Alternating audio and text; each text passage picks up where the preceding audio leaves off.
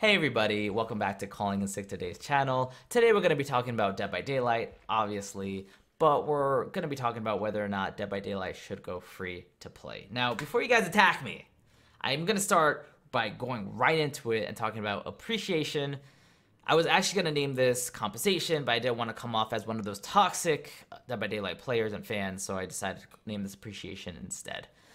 Now, Behavior doesn't have to do this if they go free to play, but it would be cool if Behavior did do something to show appreciation to the fans by saying, hey, I know you guys might not agree with us going free to play. And again, if they go free to play, here is something to show that we do care about your opinion, we do care about the player base, we do care that you have supported us over these numerous years. Here is this either something very similar to a legacy skin, something very cool like that. Here's the skin, or here's this cosmetic charm or anything of the sort to show that, hey, we care about you.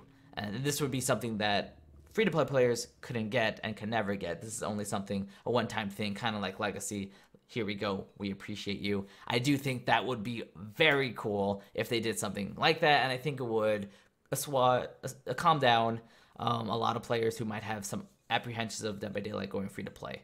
Now, before I go on, I do want to make it clear because it sounds like I'm saying Dead by Daylight is going free to play. Dead by Daylight is not going free to play as far as I know. This is just speculation that if they did, I feel like this is the route that they should go.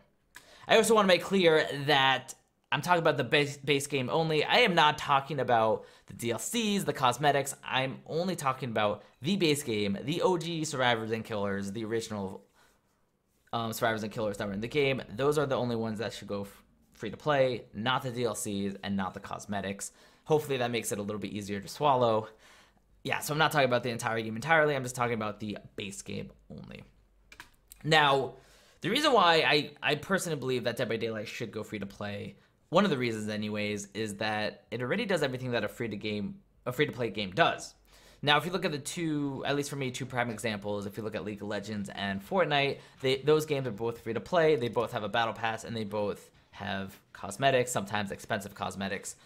Dead by Daylight has expensive cosmetics, and they do have now a battle pass. I do think that since they're already doing every all the tactics that a free to play game does, they should probably go free to play.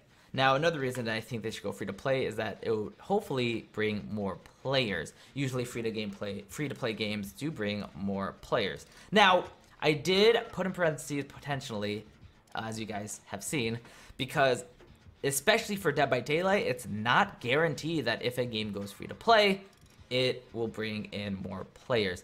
Now, one thing going against Dead by Daylight is that it is an M-rated game, and this is actually something that M-rated games and R-rated movies share. Um, the difficulty that they have to face is that a lot of the population is legally not allowed to play this game, or at least recommended not to watch or, or play the game. We all know growing up, at least for me, that kids play M-rated games, teens play M-rated games, but it does make it harder for teens and kids to get their hands on the game, especially if this game has a lot of killing and a, a lot of killing and a lot of gore.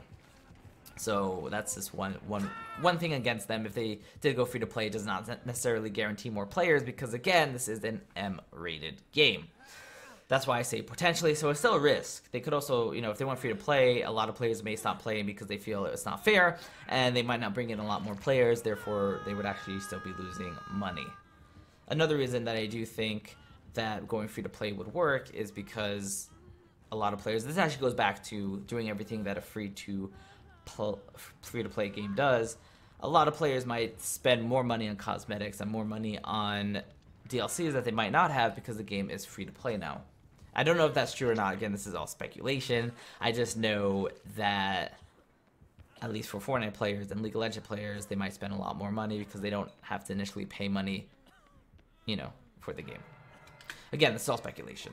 And I want to make this clear, this is all speculation, these are not facts. This last one, though, is kind of factual based.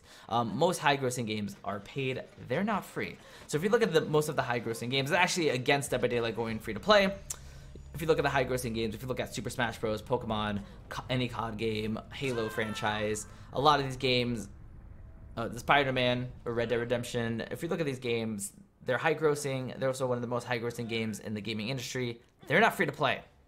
So they're making money and they're not free to play. Now, I, I do want to I do want to say this. Those games have already established themselves in the gaming community. COD, Halo, Super Smash Bros, Pokemon. They've have they've already they already had their fans. Okay, they've started from years ago. They've built up their audience. That's part of the reason why they're they're, they're high grossing. Dead by Daylight, there has been no previous Dead by Daylight. There has been no Dead by Daylight 2 as far as we know. So they're still trying to make their foothold in the player base in the community in that in that horror franchise. They're trying to be again the king of horror and right now they are. However, so this may not be smart to look at those games that are high grossing that are paid because they've already established their community, they've already set their foot in. They have their player base. Dead by Daylight is still trying to get there. So that's just a point against and for maybe free to play. I'm just trying to give you guys at least the the most angle that I could give for for this topic in general because again this topic is I'm not the first one to bring it up I'm sure you guys have seen other maybe feeds Reddit posts Facebook posts about this as well. I'm just giving you my take and I'm trying to give you guys a well-rounded opinion so you could make your own decisions see maybe it might be a good idea or not. So that's really all I have to say guys. Uh, this is actually gonna be one of my shorter videos. I don't really have that much else to say, at least anything for this topic. If you guys think I missed any talking points for or against Dead by Daylight going free to play, please let me know in the comments below, like and subscribe. If you want to talk about this in person, I do stream on Mixer every day. Uh, the link is below if you want to check me out. Um, we could talk about this. We could talk about a lot of other things too. I mean, I, I do watch a lot of TV shows and comic books and other, you know, I do play other games as well, although I mostly do stream Dead by Daylight.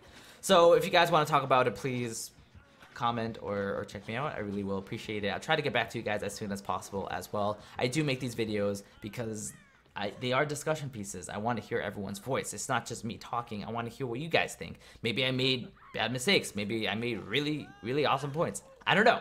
I want to hear your voice. Your voice really does matter. So please comment below. Uh, I do believe a pre-recorded game that I made is playing obviously that's what you guys are here for anyways. I'm gonna let that go and I'll actually, bam, get rid of the talking points as well. Uh, enjoy the game and hope to hear from you guys soon.